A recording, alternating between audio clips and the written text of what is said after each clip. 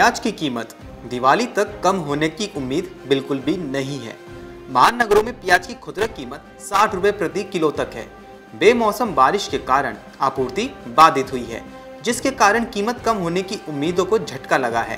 प्याज के साथ ही टमाटर और सब्जियों, जैसे कि पत्ता गोभी और लौकी की कीमतों में भी बढ़ोतरी हुई है, जिससे किचन का पूरा बजट ही बिगड़ गया है।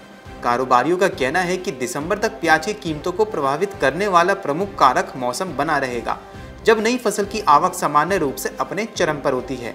अगर मौसम खराब होता रहा तो सब्जियों की कीमत और बढ़ सकती है। हालाँकि, अगर मौसम ठीक रहा तो दिवाली तक कीमतें स्थिर रह सकती हैं। नासिक के लासलगांव बाज़ार में पिछले एक महीने में थोक प्याज की कीमतें दो गुनी से अधिक हो गई हैं, जो वर्तमान में दिल्ली को प्याज का सबसे बड़ा आपूर्ति करता है। लासलगांव बाज़ार में औसत थोक मूल्य 16 सितंबर को चौदह रुपये पचहत्तर पैसे प्रति किलोग्राम से बढ़कर 16 अक्टूबर को तैंतीस रुपये चालीस पैसे प्रति किलोग्राम हो गया, जो कि 120 फ़ीसदी अधिक है। वहीं बेंगलुरु एपीएमसी में प्याज की कीमतें 8 सितंबर को दस रुपये किलो से बढ़कर 13 अक्टूबर को पैंतीस रुपये किलो हो गई। उत्तरी कर्नाटक के हुबली बाज़ार में, जहाँ खरीफ प्याज की फ़सल की कटाई की जा रही है, औसत कीमतें 16 सितंबर को साढ़े आठ रुपये प्रति किलो से बढ़कर 16 अक्टूबर को साढ़े चौदह रुपये प्रति किलोग्राम हो गई। उपभोक्ता मामलों के मंत्रालय ने उन राज्यों में बफर स्टॉक से प्याज देने शुरू कर दिया है, जहाँ कीमतें अखिल भारतीय औसत कीमतों से ऊपर चल रही हैं।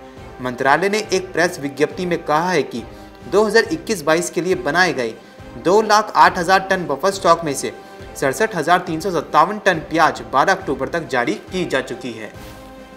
Bureau report market times, TV.